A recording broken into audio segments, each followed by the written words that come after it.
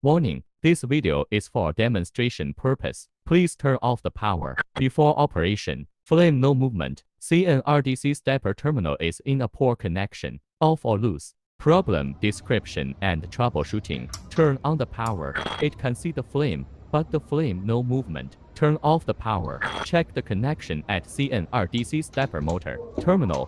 Pull it out and plug it in again. Turn on machine and check the recovery status.